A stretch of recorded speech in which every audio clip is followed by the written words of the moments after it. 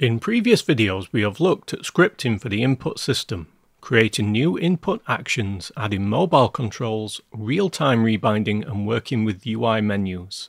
The last two videos in this series are going to be dedicated to local multiplayer games using the input system.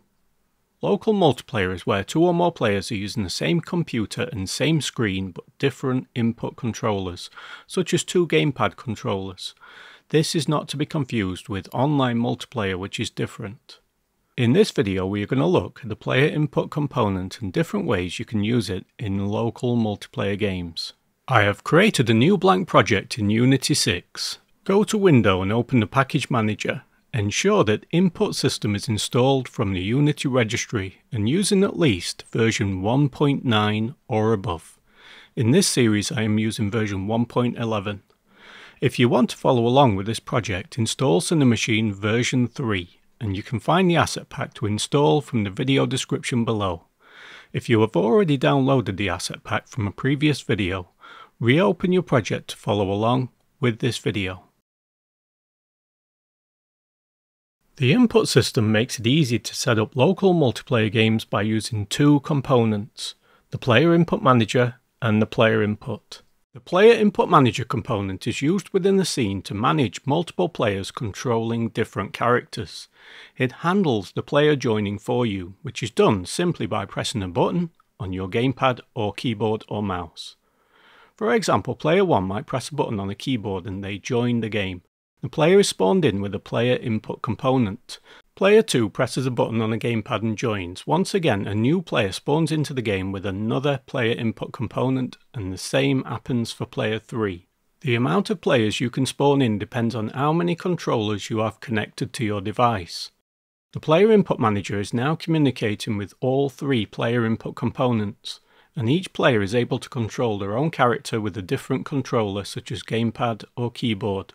Go to the Art and Prefabs folder and open the Player 1 prefab. This character has a pre-written script attached. We want to set it up for a local multiplayer game. Add a player input component. This is used for multiplayer games to differentiate between players using different controllers.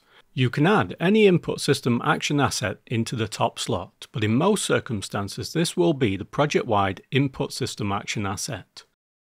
If you do not see the Input System Actions asset or you accidentally delete it, go to Edit and Project Settings in the Input System Package section. Input System Package version 1.8.2 and above allows you to create and assign a default project-wide action asset with predefined input actions.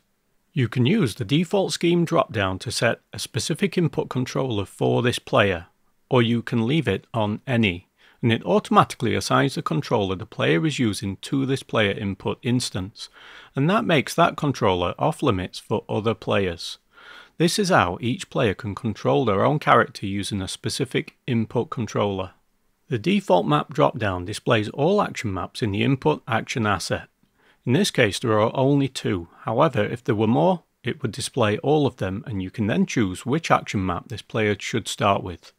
The on-enable and on-disable is handled automatically by the player input component.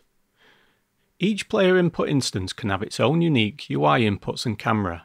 The behavior is how the player interacts with C-sharp scripts. From the drop-down there are four behavior types. Send messages is the default. However, you can also have broadcast messages, invoke Unity events, and invoke C-sharp events. We will look at each of these and how to write code for them. Double-click to open the input system action asset. We are going to create code for simple movement inputs. These are the move and look inputs, which are both value and returning a vector 2.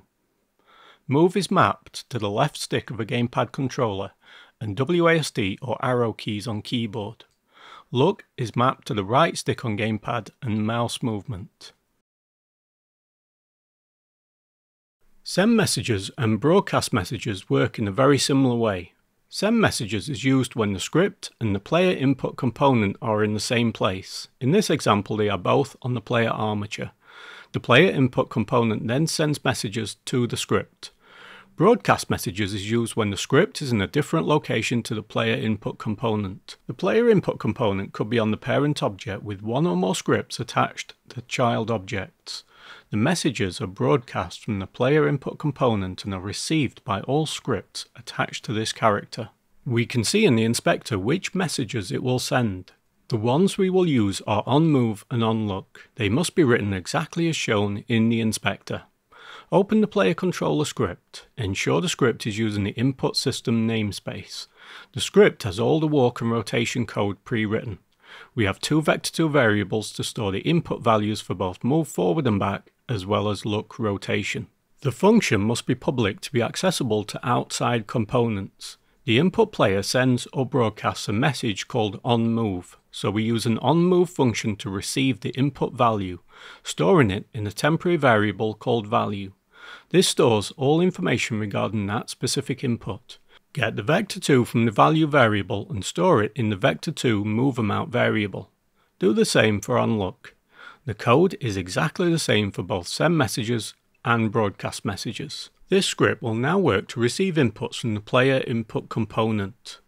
Let's look at the invoke Unity events. Invoke Unity Events exposes all the events within the Input System Actions asset and displays them in the inspector. The device lost and regained are when a controller loses connection with the device. For example, maybe the batteries run out on a gamepad controller and the device is lost. You can then write code to deal with that type of an event. The player and UI action maps are also revealed and within each are the actions. You don't have to use all the actions. In the script, the function is public so it can be used within the player input component. I will keep the onMove function name, however you can call the function whatever you like. It will then return an input action callback context. We will pass this data into a temporary variable called context. Much like the send messages, this stores all the information sent from the input. We read the vector2 value from the context variable and store it in the moveAmount vector2 variable. Do the same for onLook. Add a new entry in the move event, dragging the object from the hierarchy that has the script attached. In this case it is the player armature. Then from the drop-down find the player controller script and you will see the public functions at the top. Choose the correct function matching this event. Do the same for the look event. This will now work to run the functions from script when those events are triggered. Let's look at invoke C-sharp events. Invoke C-sharp events is used when you want to control inputs directly from code. Find the input system actions asset and generate a C-sharp class. This will create a script that we can then access in code. In the player controller script, create a new variable of the class we have just created. In this case, it is input system actions. In the awake, create a new instance of the input system actions and pass that into the mActions variable. Because we are creating a new instance, this is best used to control a single player. Multiplayer is best suited to the other methods we looked at previously. In an onEnable method, enable the player action map. We have to manually enable the action maps when using C-sharp events. Using the M actions, access the player action map and the move action. Then check the phase, which here is performed, meaning the left stick has been moved from its initial state or the WASD or arrow keys have been pressed. Subscribe to a function, which here I have called move input, by using a plus equals. When getting values like this, it will only update the move input on press, or when the gamepad stick is moved, but it won't do anything when the keys are released or the gamepad stick is released. So we need to check when the phase is cancelled, and send that data to the move input function. We only need to write the cancel code when the action in the input actions editor is set to value. This returns callback data only when the axis is actuated, meaning when it has a value different to its resting state. If however we were to set the move and look actions to pass through, it would return callback data even when the left and right gamepad sticks are in a resting state, and the cancel code would not be necessary. Do the same for the player look. Here I am subscribing to a function called rotate input. Create the move input function. This receives an input action callback context that will store in the context variable. Then read the vector2 value from the context and pass it into moveAmount. Do the same for rotate input and read the vector2 value from the context and pass it into the lookamount variable. Create an onDisable method that will be called when the player dies or is destroyed. Disable the player action map. Unsubscribe from the move input and rotate input functions by using the minus equals. This script will now control a single player using the player input component. And that brings us to the end of this video. We have looked at different ways to write code for the player input component. In the next video we will look at using the player input manager to set up a variety of different types of local multiplayer games. To find out more click on the link in the video description below. Thanks for watching.